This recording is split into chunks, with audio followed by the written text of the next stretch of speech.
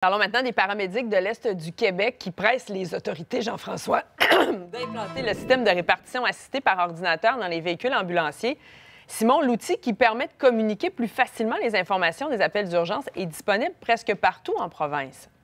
Oui, presque partout, Audrey, sauf ici, dans l'Est du Québec et en Abitibi-Témiscamingue. Donc, le système euh, donc, de répartition assistée par ordinateur qui est réclamé ici.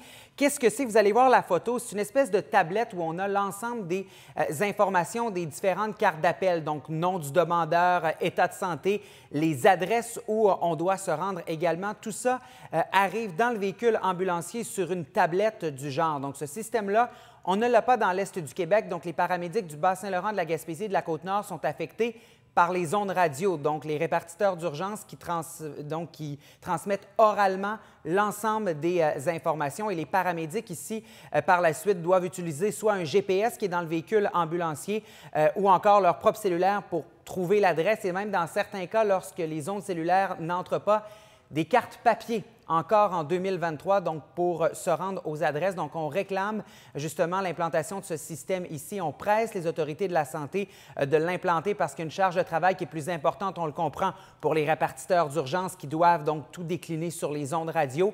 Les risques d'erreur augmentent également pour le paramédic. Il y a une charge supplémentaire et on s'explique mal pourquoi il y a des délais ici pour implanter ce système alors que presque partout ailleurs au Québec, on dispose de ce système. On écoute Jérémy Landry. Ça donne une surcharge de travail à nos répartiteurs médicaux d'urgence. Si la tablette était instaurée dans un véhicule, avec la pénurie de main-d'œuvre qui se vit actuellement à la correcte, ça aiderait grandement nos répartiteurs, ça faciliterait le travail, ça donnerait des outils adéquats pour travailler.